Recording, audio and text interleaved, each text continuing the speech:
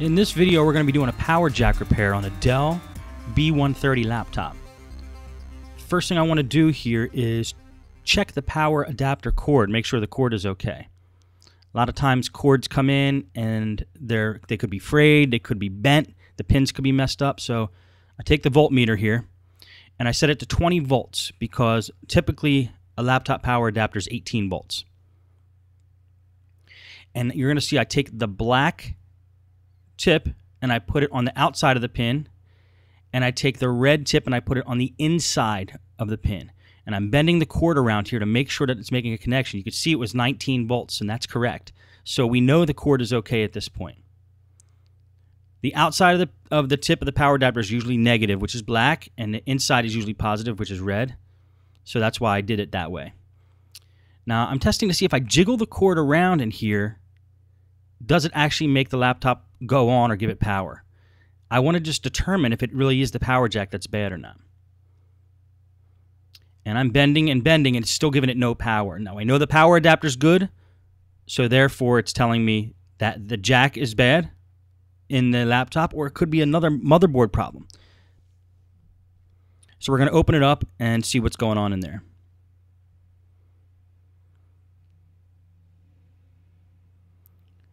I usually put a piece of foam down when I'm working on laptops just so I don't, I don't scratch the surface when I flip them over. That piece of foam is from, uh, if you buy a motherboard, normal like MATX motherboard, that's usually the piece of foam that comes in the box, and they're great for working on laptops in this case. Now what I want to do is start taking out components. Like you see, I just pulled the battery out.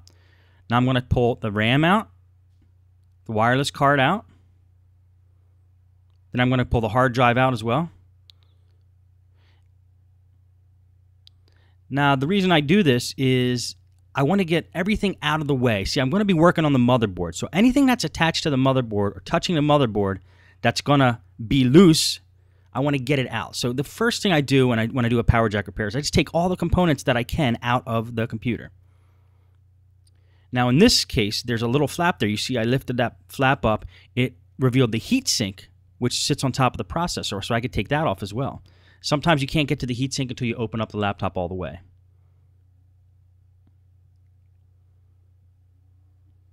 and you'll see the processor sitting there under it. I'm going to pull off the wireless card. And I'll tell you a little, little bit later why it's really important to get the wireless card out of there. And then one screw, pull out that one screw and a CD drive comes out.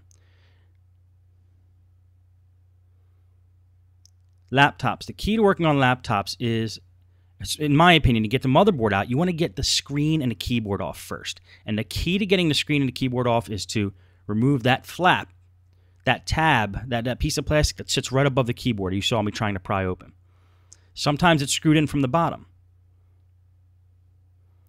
So I don't know if it's screwed in from the bottom or not in this computer, but I'm going to be taking all the screws out anyway, so I might as well pull out all the screws that I that appear to be under that plastic piece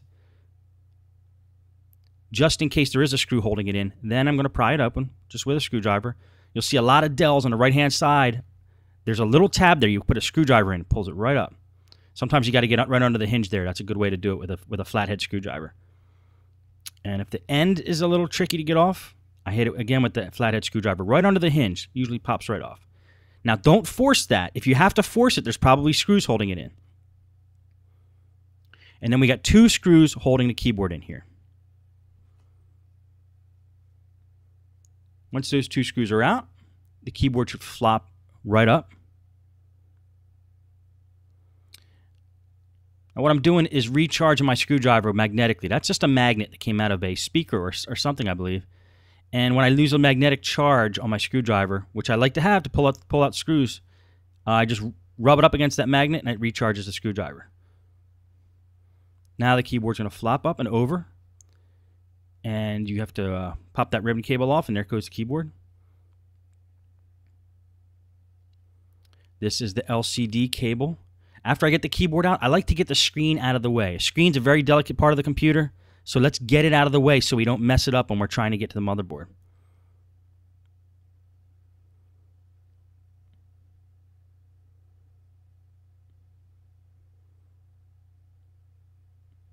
So you want to pull out any connect, also pull out any connectors that are attached to the motherboard. This could be ribbon cables, this could be battery connections, this could be like trackpad connections, which I'm pulling out here. You don't want any of those ribbon cables attached to the motherboard because when we pull the top plate off, those ribbon cables might rip if they're still attached. Now, in this com particular computer, it's a little out of the frame. Okay, we're going to put it, put it in. There's two screws holding the monitor in.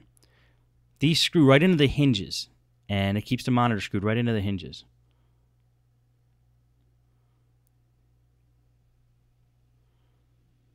Now, again, on this computer, I'm, you see I'm kind of recklessly throwing the screws into a pile.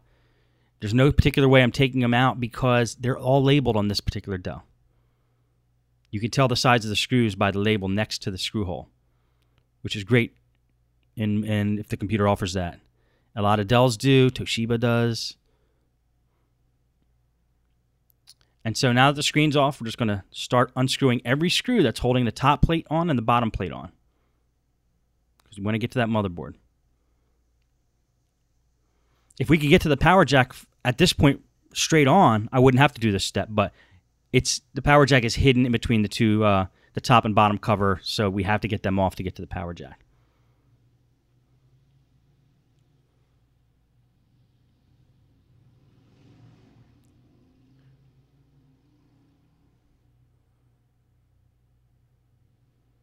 Now I'm just pulling every screw, every place I see a screw hole, I'm taking that screw out of the bottom case.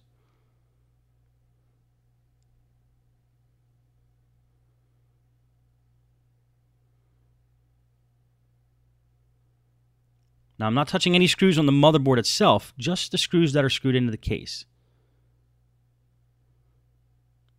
Just to give it a check there and make sure I got them all, and then make sure I got the, got the same ones done on the top. And if the case comes apart as easy as that, then you know you got them all. Now we're going to take a look at the power jack here and see what's going on. I'm putting that screwdriver in the power jack hole there to shake the pin around. Now, the pin inside the power jack may be loosely attached to the motherboard, and that's why you're not getting a connection. Now, mind you, that cord, the power adapter cord, is not plugged in right now to the outlet, to the wall, so it's not doesn't have power. And you'll see that that center pin, the one that's actually pointing in a different direction, is loose from the motherboard. It's not actually making connection on the motherboard there. So we're going to have to resolder that point to the motherboard. And when we jiggle the power adapter, you'll be able to see that pin inside move up and down and not really be soldered strongly to the motherboard. And that's what we're going to be fixing here. So to get to that point, we got to take off, take the motherboard out of the machine. Because we need to get to the top part of the jack and we got to get to the bottom part of the jack. So we can only get to the bottom from here. So we're going to take the motherboard out of the bottom case.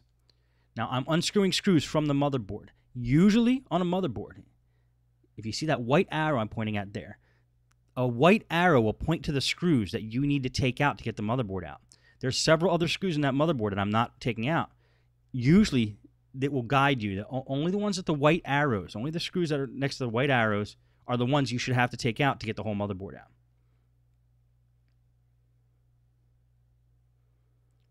So you'll see I didn't, I didn't need to take the fan off or the PCMCIA slot, or a couple other things.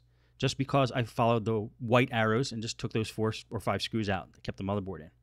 Now that the motherboard's out, we're going to operate here. We're going to fix that power jack using a special technique that I do. But first, since we got the motherboard out, we're going to hit it with some compressed air.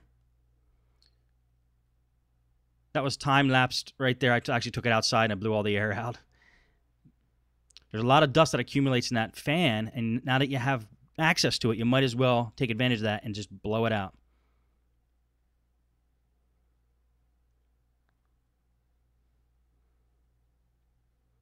Okay, so I'm taking a look here, just inspecting the best way to go about attacking this problem.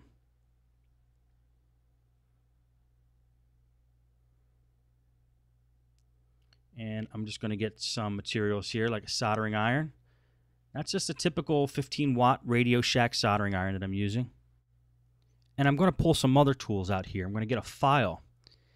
And the first thing I'm going to do is I'm going to file off a spot on the motherboard where I can reattach the power jack. See, what we're going to do is a technique that I like to do where I use a wire to reattach the power jack to the motherboard. I use a wire because it has flexibility and it won't be as brittle as attaching the, the actual pin from the power jack straight to the motherboard. They have a tendency, if it's going to break, if it breaks once, it's going to have a tendency to keep breaking. So we're going to use a technique here where I use a wire in place of the actual post, the actual pin that comes out of the center of the back of the power jack. The first thing I need to do is scuff off, file down a, a bare spot on that motherboard where that pin actually attaches to, where the power jack pin actually attaches to.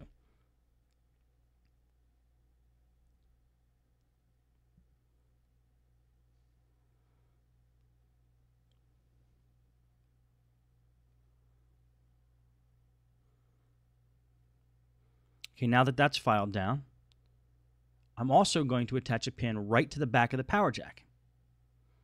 And then I'm going to wrap that wire from the pin down to the other underside of the motherboard and solder it at both ends. Now I'm filing this down. The reason I file it is so the solder will stick. I want to make a good solder connection because I don't want this ever to break again.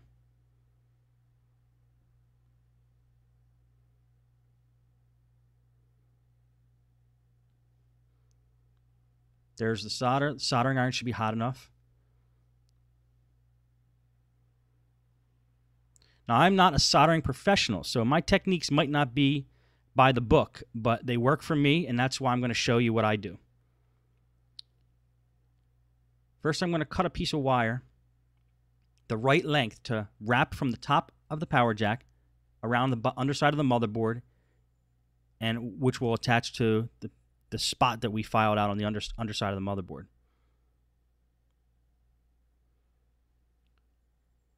And that length of wire should do it. Now what I'm going to use here is a little device called Helping Hands I got at Radio Shack. It's actually missing one of its alligator clips, so it's actually a helping hand, but it'll work for what we're doing. And all it does is allows you to um, hold things while you work on them. It's like an extra set of hands. Okay, what I did there with the helping hand was solder both ends of that wire, which I didn't catch on film, but I'll show you afterwards. And then I just put a dab of solder on the back of the power jack there. On that spot I was filing, right at the back of the power jack, that pin. It's the positive point. The whole outside of that power jack, the metal on the outside is negative.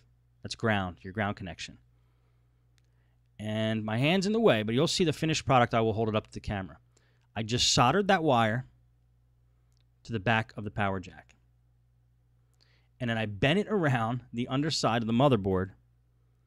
And now I'm going to solder it to the point that we filed down on the underside of the motherboard. Now that point on the underside of the motherboard, which right now I'm attaching, I'm just, I'm just putting a little drop of solder on it. And then I'm going to just take the wire, which also has solder on, on the end of the wire already, which I did with the helping hands. I'm just going to melt that point onto the point of the motherboard where I just dropped a piece of solder.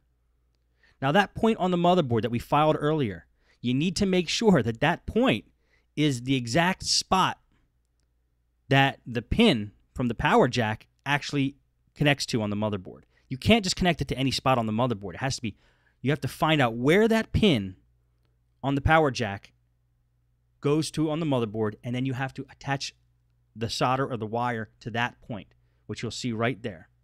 Now I'm going to freeze frame that. Now notice that wire is attached to the motherboard right where that pin comes through the underside of the motherboard. It's essentially the same contact point. That's very important. You could tell it's the same contact point because of the light green color. Well, now that that's connected, and we tested with the pliers to make sure it was a strong connection, the soldering is essentially done. Give it a little tug, make sure it's secure.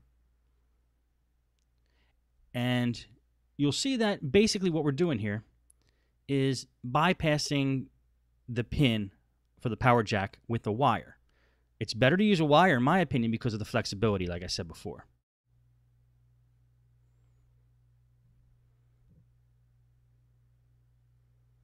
Now what we're going to do is clear off the desk a little bit and start to put everything back together.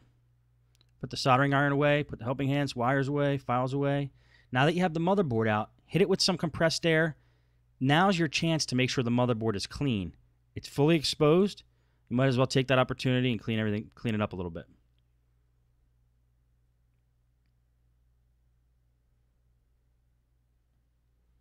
And we're going to take the bottom case, we're going to slip the motherboard back in.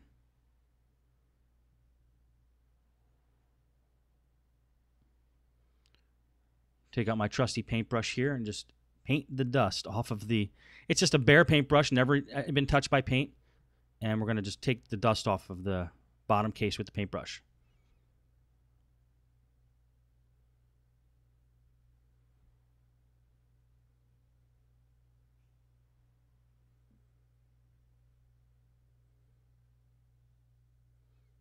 Okay, you want to make sure you get the motherboard lined up properly. And if you notice anything else on the motherboard that you need to do before you put it in, now's the time. And what I'm doing now is, as I was eyeing it up, I saw that there might be some metal in the bottom part of the case that might hit that wire that we just attached. So I'm going to take a piece of electrical tape, maybe two, and cover up the exposed wire that we just attached, just in case there's a ground point on the bottom part of the case that would hit it and cause a short circuit. So we're basically insulating the job we did. Now we have to do that sometimes because using the wire, because that's not what was originally in the machine, it might jut out a little bit and make contact with a piece of metal, you know, in the bottom case or somewhere else in the machine.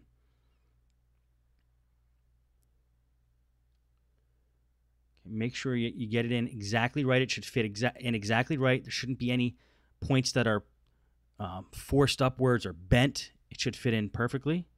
If it's not, find out why. Like for this example, there's a connector that's under there that needs to come up on the upper side of the motherboard rather than sitting on the underside of the motherboard. And once it's in there solidly, it's time to screw the screws back in. And remember, the screws go where the white arrows are.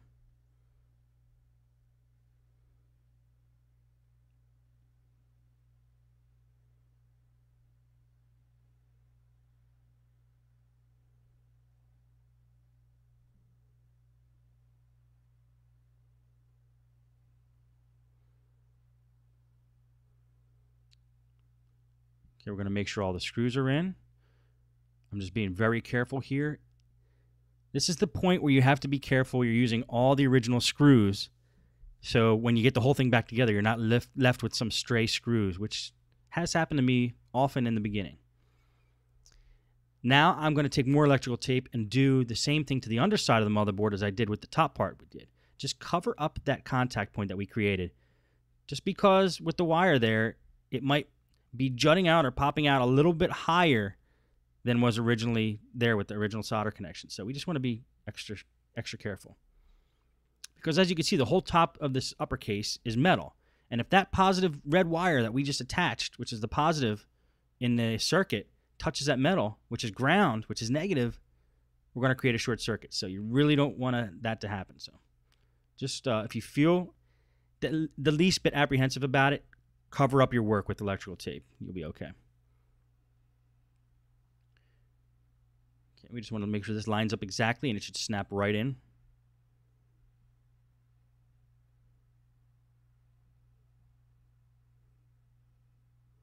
I'm going to pull that one wire through, which is actually the wireless card wire.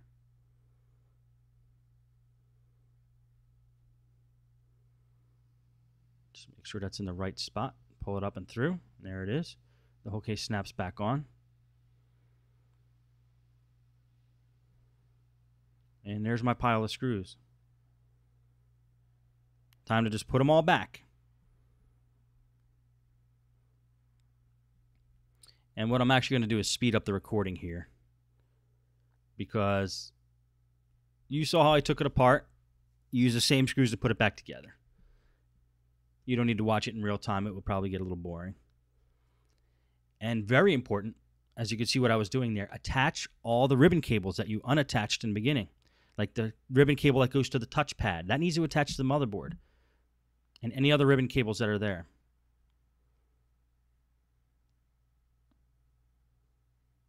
It would be really nice if I could work this fast in real time, wouldn't it?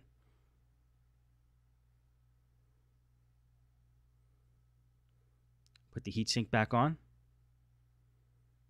Now I screw the heatsink in in a cross pattern, like you're putting on a tire. You don't want to put too much pressure on one side of the heatsink and hurt your processor. So put it on a couple turns here, a couple turns there, just like you're putting on a tire. That's how I put heatsinks back on the processors. Put your wireless card in, put the hard drive in, put the RAM back in, put the covers back on, and we're almost done here.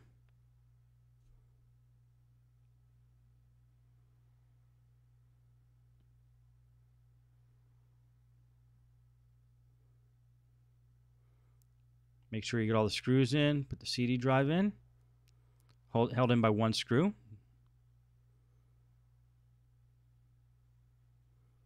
Get the screen back on. Attach the LCD cable. Attach the wireless card cable, which is basically an antenna that usually, the screen usually has an LCD cable and the wireless card cable coming through it. And that wireless card cable goes to the top of the screen to provide an antenna. Attach all the ribbon cables. Now these screws I'm screwing in now are actually holding in the hinges of the screen. I couldn't put these in until I actually had the screen in, otherwise there would be no threads the hinges actually have the threads in them. And now that that's tight, put the keyboard back on. Make sure it's attached properly. Put the two screws on that hold the keyboard on. Then snap that panel back into place, which we know doesn't have any screws holding it in from the bottom. We know that now. Make sure it's in tight.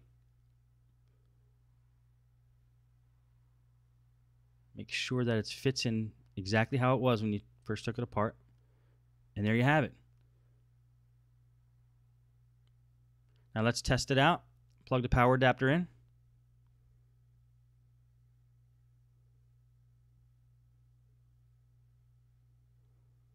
Before we do that, it's actually a good idea to test if there's a short circuit in your work before you plug the power adapter in because you don't want to mess anything up. So I'm taking the red there, I'm attaching it to the center pin of the power jack, and that black connection is actually uh, hitting a ground point on the other side of the, the uh, computer, which you can't see. And if I hear a beep on my power meter, that will indicate a short circuit, and then I know I did something wrong. I have to take the whole thing apart. It would have been smart to test this before I put the whole thing back together, but I'm getting cocky now in my work, so sometimes I put it all together knowing that it's just going to work. Plug the power adapter in, and we're going to take a look down at the bottom left-hand corner of the screen there. You're going to see that the light comes on. It powers on. This is with no battery, so we know that it's working.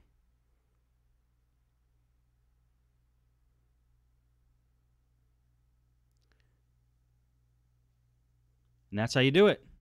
A power jack repair on a Dell B130 laptop.